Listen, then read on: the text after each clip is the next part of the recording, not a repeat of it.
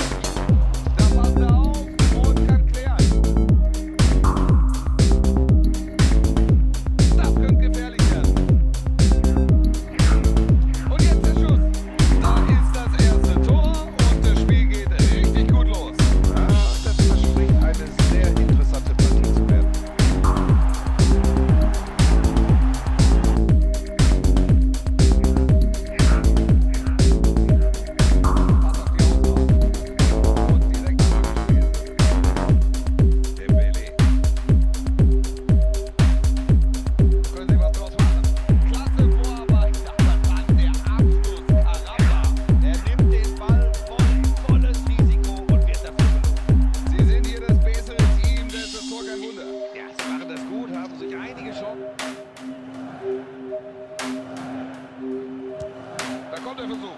Keine Chance für den Torwart. Er verwandelt diesen Freistoß direkt. Diesen Treffer schauen wir uns gerne nochmal in der Wiederholung an.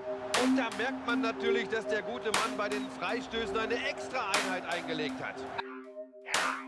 Ein richtig gut. Freistoß. Da gab es für den Keeper nichts zu halten.